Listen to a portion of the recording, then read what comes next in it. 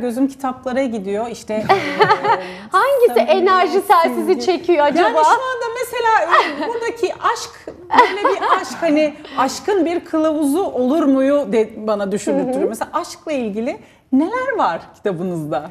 Bu bir aşk kılavuzudur ve bunun çok örneği var.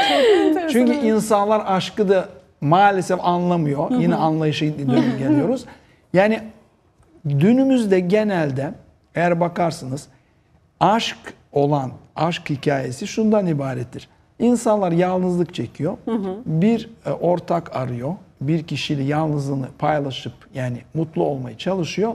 Biriyle anlaşıyor ve onlar mutlu olmaya çalışıyorlar ve uyumlu olunca buna aşk diyoruz. Tabi aşk deyince içinde cinsellik de var.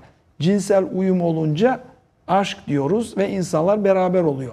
Ama kısa bir süre sonra kavgalar, tartışmalar başlıyor. Çünkü devreye yine de anlayışsızlık giriyor.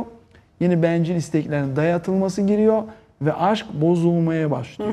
Şimdi bu kılavuzda şunu an- anlatıyoruz. Şimdi aşk doğal olarak sen onu yaşatmak istiyorsun. Başlangıçta o çiçek açıyor. Sonra sen onu besleyemiyorsun doğru dürüst. O çiçek soluyor ve bahçen perişan oluyor. işte o o anı yakalama gerekiyor. Anlayışlı olmak devam edeceksin her adımda.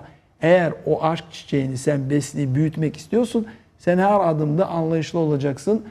Her kavgayı, her tartışmayı gözden geçireceksin ve gerçekten seyirciler aralarındaki kavgaları dostla, yakınları, sevdikleri, eşleriyle gözden geçirince görecekler ki o kavgaların %90'ı gereksiz yere olmuş. Gereksiz. Yani şimdi ne kadar e, böyle siz konuşurken kafamdan hakikaten bir sürü şey geçiyor. Arkadaş ilişkilerinde anlayış, Evet. ikili Öyle. ilişkilerde anlayış, Evet. patron çalışan ilişkilerinde Evet, anlayış, hakikaten anlayış. her yerde anlayış yerde. ne kadar Sonra da önemli. diyorlar ki aman canım bugün de tersi solumdan mı kalktın öyle bir şey derler.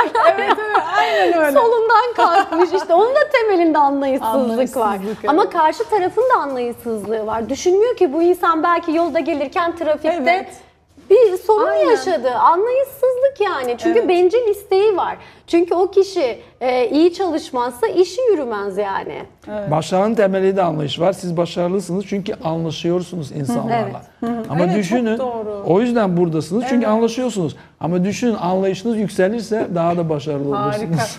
o zaman benim ne yapmam gerekiyor? Hemen e, Akif Mığaf'ın yazdığı anlayış kitabını okumam gerekiyor ki e, daha da anlayışlı olup daha da başarılı olayım. Hayatla daha da iyi Barışık. geçineyim, barışayım Aynen. yani. Çok çok Barışık. teşekkür ediyorum. teşekkür Gerçekten ederiz. Geldiğiniz andan itibaren Çok sürükleme keyifliydi. enerji verdiniz. Sağ olun. E, ve çok güzel bilgiler verdiniz bize. Çok Sağ olun. teşekkürler. İyi ki varsınız. Sağ Siz olun. de öyle. Sağ olun, var olun. Biz de çok keyif aldık. Ne güzel sizlerin aracılığıyla değerli izleyicilerimize bir nebze de olsa anlayış e, pırıltısından verebildiysek ne mutlu bize. Çok teşekkürler tekrar. Sağ Biz teşekkür Sağ olun. ederiz.